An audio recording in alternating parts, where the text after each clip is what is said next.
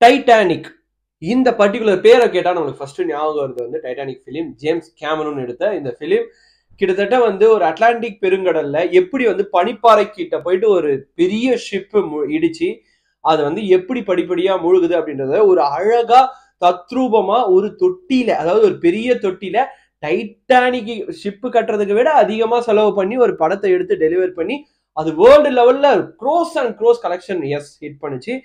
அதுல நடிச்ச நடிகர்களா இருக்கட்டும் அதுல வந்து ஒரு தத்ரூபமான ஜாக் ரோஸ் அந்த லவ் ஸ்டோரியா இருக்கட்டும் இல்ல வந்து first class third class second class அப்படின்னு வந்து அந்த வந்து இருந்த நிறைய பீப்புள்ஸை பத்தி செக்ரிகேட் பண்ணி அதை பத்தி ஸ்டடி பண்ணி அதை பத்தி எக்ஸ்பிளைன் பண்ண விதமா இருக்கட்டும் இது எல்லாமே பயங்கரமா இருந்தது. ஸோ அப்போ இருந்த டைட்டானிக் இப்போ இருந்ததா அப்படின்னா கிடையாது. டைட்டானிக் டூ வந்தது அதுவும் ஃப்ளாப்பு அந்த மாதிரிலாம் போச்சு. பட் இப்போ நம்ம அதை பத்தி பேச போறது கிடையாது. எஸ் அதுக்கு முன்னாடி வந்து யாராவது கண்டதை பேசு சேனலை சப்ஸ்கிரைப் பண்ணாமல் இருந்தீங்கன்னா மறக்காம கண்டதை பேசு சேனலை சப்ஸ்கிரைப் பண்ணிடுங்க. கீழே தெரியுற பெல் ஐக்கானை கிளிக் பண்ணிடுங்க. Yes this is Vijay Karthik signing in with Kandathai Pesu.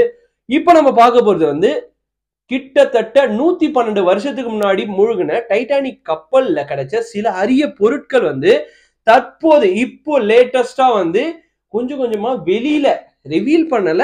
வெளியில ஒன்னு ரெண்டு பொருட்களை வந்து மக்களுக்காக சும்மா அந்த பிக்சர்ஸ் ரிலீஸ் ஆகுது. பிக்சர்ஸ் நிறைய கிடைக்குது பட் அந்த பர்டிகுலர் ஏரியாவுக்கு போயிட்டு ஒரு இன்டர்வியூ இல்ல பிக்சர்ஸ் கிடைக்குதான்னா அது ஒரு மிகப்பெரிய கேள்விக்குறி தான் அந்த மாதிரி வந்து ரீசெண்டா பிபிசிக்கு அது மாதிரி ஒரு சான்ஸ் கிடைச்சிருக்கு. ஸோ அந்த மாதிரி போய் இன்டர்வியூ எடுத்திருக்காங்க.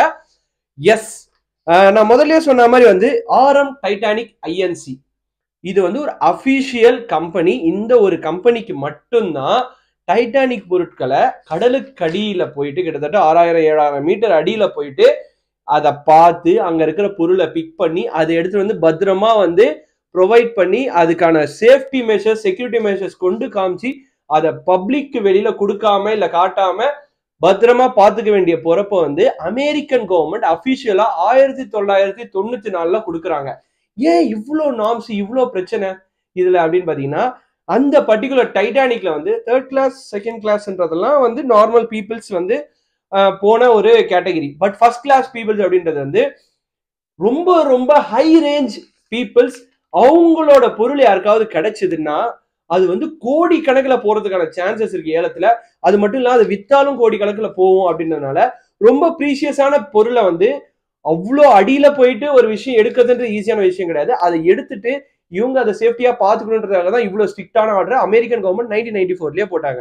எஸ் நான் முதல்லயே சொன்ன மாதிரி வந்து Titanic England to New York travel பண்ணும்போது இது வந்து அபிஷியலா பனிப்பாறையில மோதி கீழே விழுந்தது. பட் இப்ப பேச போற விஷயம் என்னன்னு பாத்தீங்கன்னா அதுல கிடைச்ச அரிய பொருட்கள் நிறைய பொருட்கள் கிட்டத்தட்ட வந்து five thousand five hundred products கிடைச்சிருக்கான் இது எல்லாமே எங்க இருக்கு அப்படின்னு யாருக்குமே தெரியாதான் ஜார்ஜியா அட்லாண்டா அமெரிக்கால ஒரு பகுதியில இருக்கிறதா பேசப்படுது பட் அங்க இருக்குமா இருக்காதான்றதெல்லாம் தெரியாது. பட் இதெல்லாம் தாண்டி ஏன் இவ்வளோ சேஃப்டி பண்ணி ஒரு ப்ரிவென்ட் பண்ணி வைக்கிறாங்கன்னா இது திருடங்க திருடிடக்கூடாது அப்படின்றது ஃபர்ஸ்ட் அது இல்லாமல் ரொம்ப ப்ரீஷியஸான விஷயம்லாம் வந்து வெளியில போச்சு அப்படின்னா அதோட தன்மை போயிடும் அப்படின்ற மாதிரி சொல்றாங்க. பட் வெளியில காமிச்சாதானே அட்லீஸ்ட் எக்ஸிபிஷன் போட்டாச்சும் சில வருமானம் வரும் அப்படின்றத அவங்களுக்கு தெரியல. ஸோ அதெல்லாம் நம்ம தேவை கிடையாது. ஸோ இந்த மாதிரி வந்து அவங்க கண்டுபிடிச்சதுல ஃபர்ஸ்ட் நம்ம பார்க்கறது ஒரு மூணு நாலு கேட்டகரியான திங்ஸ் தான். பட் ஐயாயிரத்தி ஐநூறு ப்ராடக்ட்ஸும் நம்மளால பார்க்க முடியுமான்னு தெரியல. அந்த மாதிரி நம்ம ஃபர்ஸ்ட் பார்க்க போது வந்து இந்த ஹேண்ட்பேக் இந்த ஹேண்ட்பேக் வந்து ஒரு குரொக்கடையில் அதாவது வந்து ஒரு முதலையோட தோல்ல செஞ்சது. இந்த தோல்ல செஞ்சது நார்த் அட்லாண்டால இருந்து ஒரு முதல்ல அதை கூட சொல்றாங்க மென்ஷன் பண்றாங்க. தேர்ட் கிளாஸ்ல பயணிச்ச மரியன் மீன்வெல் அப்படின்றவங்களோட இந்த ஹேண்ட்பேக்ல வந்து என்னென்ன இருந்தது அப்படின்னு பாத்தீங்கன்னா அவங்க கடவுளா இல்ல தாயா பார்த்த ஒருத்தவங்களோட மங்கின போட்டோ அந்த போட்டோவை நான் போடுறேன். அந்த போட்டோ கிடைச்சிருக்கு. அது மட்டும் இல்லாம அவங்க வந்து அவங்க அமெரிக்கால வாழ்ந்தபோது அவங்க ஹவுஸ் ஓனர் கொடுத்த ரெண்டல் அக்ரிமெண்ட் அதுவும் இல்லாம அது அது முடிஞ்சு லண்டனுக்கு லண்டனுக்கு போய் அவங்க பொண்ணோட வாழ போற அந்த லெட்டர்ஸ் அதெல்லாம் இருந்தது. ஸோ என்ன நடந்ததுன்னா விதி எப்படி வேணாலும் விளையாடுன்னு சொல்லுவாங்கல்ல இந்த மரியன் மீன்வெல்க்கும் அந்த மாதிரி தான் விதி விளையாடி இருக்கு. இதை தவிர்த்து வேற என்ன இருந்திருக்கு அப்படின்னு பாத்தீங்கன்னா மெடிக்கல் சர்டிபிகேட் அப்பெல்லாம் வந்து அமெரிக்கால இருந்து லண்டனோ இல்ல லண்டன்ல இருந்து அமெரிக்காவோ நீங்க போறீங்கன்னா உங்களுக்கு எந்த டிசீஸ் இல்ல தொற்று வியாதி இல்ல அப்படின்னு சொல்ற கிளியரிங் சர்டிபிகேட் மெடிக்கல் சர்டிபிகேட் எல்லாருக்கும் வாங்குவாங்க. ஸோ அந்த சர்டிபிகேட் அவங்களோட அந்த பர்டிகுலர் ஹேண்ட்பேக்ல இருந்திருக்கு. இதெல்லாம் விட பாவப்பட்டு அந்த விதி விளையாடுன்ற விஷயம் என்னன்னா இவங்க என்ன பண்ணியிருக்காங்கன்னா ஒயிட் ஸ்டார்ஷிப்னு ஒரு ஸ்டார்ஷிப் தான் புக் பண்ணியிருக்காங்க சம் நல்ல லண்டன்லேருந்து நியூயார்க் போகிறதுக்கு பட் என்ன நடந்ததுன்னா அந்த ஸ்டார்ஷிப் வந்து கேன்சல் ஆகிட்டு இருக்கு ஸோ அதில் இருக்க பயணிகளையும் சேர்த்து டைட்டானிக்கில் அனுப்பவே இவங்க அதில் டைட்டானிக்கில் ட்ராவல் பண்ணியிருக்காங்க எஸ் அந்த விதி என்னன்னா இறந்து போன ஆயிரத்தி ஐநூறு பேரில் இவங்களும் ஒருத்தங்க அப்படின்றதுதான் ஒரு கொடூரமான விஷயம். எஸ் செகண்டரியா அடுத்ததான் நம்ம பார்க்க போறது வந்து சென்ட் பாட்டில் அதாவது சென்ட் இப்பவே இப்படி இருக்குன்னா நைன்டீன் டுவெல்ல சென்ட் எப்படி இருந்திருக்கும் பாருங்க. அந்த அளவுக்கு வந்து அந்த இன்டர்வியூல வந்து அவங்க ஒரு பாக்ஸ் லிஸ்ட் ஆஃப் பாக்ஸஸ் ஒரு பிளாஸ்டிக் பாக்ஸ் எடுக்கிறாங்களாம். அந்த பாக்ஸ்ல இருந்து சின்ன குப்பி நம்ம சொல்ற மாதிரி வந்து அந்த துபாய் சென்ட்னுவாங்களா அந்த மாதிரி துபாய் சென்ட்ல வந்து லைட்டா அதை எடுத்து ஓபன் பண்ண உடனே அவ்வளோ ஒரு ஸ்மெல்லாம் அந்த ரூம் ஃபுல்லா கிட்டத்தட்ட நூத்தி பன்னெண்டு வருஷம் ஆகுது டைட்டானிக் மூழ்கி. இன்னும் அந்த ஸ்மெல் அப்படியே இருக்கு. அவ்வளோ சூப்பரா இருக்கு அப்படின்ற மாதிரி சொல்றாங்க. எஸ் இது எல்லாம் என்ன காரணம் அப்படின்னு பாத்தீங்கன்னா டைட்டானிக்ல அபிஷியலா சென்ட் விக்கிறவர்னு ஒருத்தர் இருந்திருக்காராம். அவர் பேர் அடோல் சாஃபில் என்னன்னா அவர் வந்து ஒரு செகண்ட் கிளாஸ் பயணி. நான் இதெல்லாம் ஏன் இந்த first class second class third கிளாஸ்னு சொல்றேன்றத கடைசியா நான் சொல்றேன். எஸ் முக்கியமான விஷயம் என்னன்னா அவர் வந்து ஒரு தொண்ணூறு வகையான சென்ட்டை வந்து விற்கிறதுக்காக எடுத்துட்டு வந்திருக்காரு. அது எல்லாத்தையுமே வந்து சேலும் பண்ணியிருக்காரு. முக்கியமா இந்த இடத்துல விதி வந்து ரொம்ப ரொம்ப ஸ்ட்ராங் அப்படின்னு சொல்லுவாங்கல்ல அவருக்கு வந்து ரொம்பவே ஸ்ட்ராங்கா இருந்திருக்கு. அந்த டைட்டானிக்ல எஸ்கேப் ஆன எழுநூறு பேர்ல இவரும் ஒருத்தர். இதுல வந்து உங்களுக்கு ஒரு முக்கியமான கொஸ்டின் ஒன்று வரலாம். என்னன்னா டைட்டானிக்ல எஸ்கேப் ஆகும்போது ப்ரியாரிட்டி கொடுத்தவங்க யாருன்னு பார்த்தீங்கன்னா ஃபர்ஸ்ட் லேடிஸ் செகண்டரியா சில்ட்ரன்ஸ் இவங்களுக்கு மட்டும்தான் ப்ரியாரிட்டி கொடுத்தாங்க. இவர் எப்படி எஸ்கேப் ஆனார்னா ஃபர்ஸ்ட் வந்து டைட்டானிக் உடையம் ஆரம்பிக்கும் போதே சில ஷிப்ஸ் எல்லாம் இருக்குனாங்களா அதுல வந்து லேடிஸ் சில்ட்ரனோட கூட வந்தாரு. நம்ம டைட்டானிக் படத்துல பார்த்திருப்போம்ல அதே மாதிரிதான் இவர் கூட வந்திருக்காரு. அது அது வந்து ரீலு இது ரியலு அப்படின்ற மாதிரி எஸ்கேப் வந்திருக்காரு.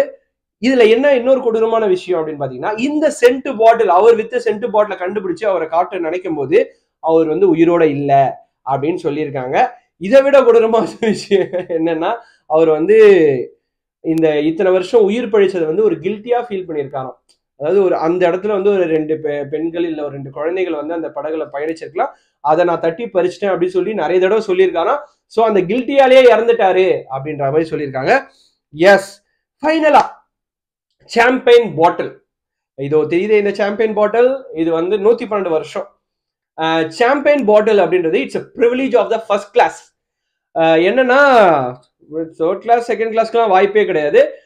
எப்பயுமே வந்து நல்லா தெரியும் நம்மளுக்கு டைட்டானிக்னாலே ஒரு சொகுசு கப்பல். அந்த சொகுசுலயே ஃபர்ஸ்ட் கிளாஸ்னா இப்போ இருக்கிற லேட்டஸ்ட் க்ரூசர்ஸ் மாதிரி பயங்கரமா இல்லாம அப்பவே வந்து ஒரு ஃபைவ் ஸ்டார் ஹோட்டல் செட்டப்பு அப்புறம் வந்து சாம்பியன் ஜிம்மு இந்த மாதிரி ஏகப்பட்ட விஷயங்கள் இருந்திருக்கு ஃபர்ஸ்ட் கிளாஸ் டிக்கெட்ஸ்க்கு ஸோ அது மட்டும் இல்லாம சாம்பியன் லிக்கர் ஐட்டம்ஸ் வந்து எப்பவுமே அவைலபிளா இருக்கும். அவங்களுக்கு தேவையான ஃபுட்டெல்லாம் எப்பவுமே இருக்கணுன்றதுக்காக ரொம்ப லக்ஸூரியஸா இருந்த ஒரு முக்கியமான ஃபர்ஸ்ட் கிளாஸ் தான் முக்கியமான ஒரு செக்டார் தான் அந்த ஃபர்ஸ்ட் கிளாஸ்ன்றது ஸோ அந்த இடத்துல இருந்து கப்பல் உடஞ்சி கீழே போகும்போது கிட்டத்தட்ட வந்து ஃபைவ் தௌசண்ட்ல இருந்து சிக்ஸ் தௌசண்ட் பாட்டில்ஸ் கண்டிப்பா கீழே போயிருக்கும்.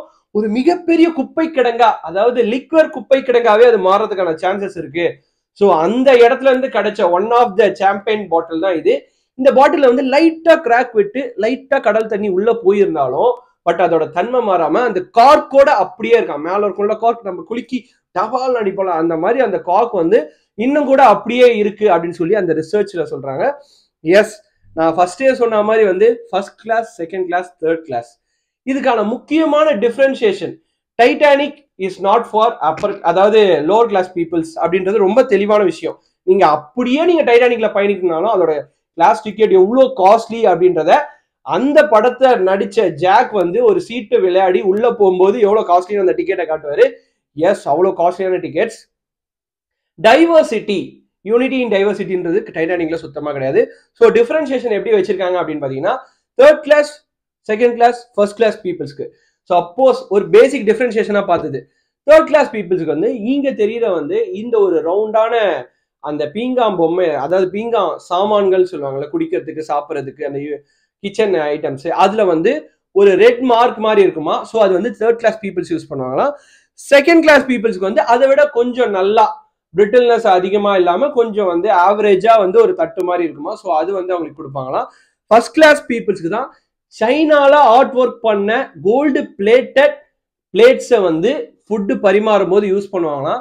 ஸோ இதுலயே வந்து ஒரு பேசிக் டைவர்சிட்டியே இல்லை அப்படின்ற மாதிரி தான் இருக்கு. But apart from that first class second class third class differentiation வரும்போது இதெல்லாம் நடக்கும். But Titanic is not for middle class or lower class இது மட்டும் நம்மளுக்கு தெளிவா தெரியும். ஸோ இந்த மாதிரி வந்து நிறைய பொக்கிஷங்கள் வந்து டைட்டானிக்ல இருக்கு. இன்னுமுமே வந்து அந்த ஆறாயிரம் ஏழாயிரம் மீட்டர் கீழே இருக்க கடலுக்கு ஆழ்கடல்ல இருக்கு. எடுக்க முடியாத அளவுக்கு இருக்கு அப்படின்றது நிறைய பேருக்கு தெரியும். பட் எடுத்து ஐயாயிரத்தி ஐநூறு பொருட்களும் இந்த ஆரம் டைட்டானிக் கம்பெனி என்ன சொல்றாங்கன்னா எங்களால முடிஞ்ச அளவுக்கு எல்லாத்தையும் பத்திரமா பார்த்துட்டு இருக்கோம். பட் இது எங்க இருக்கு அப்படின்னு சொல்லி யாருக்குமே நாங்க ரிவீல் பண்ண மாட்டோம். பட் எங்களுக்கான ஒரு மிகப்பெரிய என்ன சொல்றது ரொம்ப நாள் நிறைவேறாத ஆசைன்னா இதை வந்து வெளி உலகத்துக்கு ஒரு எக்ஸிபிஷனா எடுத்துட்டு வரணும் அப்படின்னு வந்து நாங்க ஆசைப்படுறோம் அப்படின்னு சொல்றாங்க. பட் எனக்குமே அதுதான் ஆசை.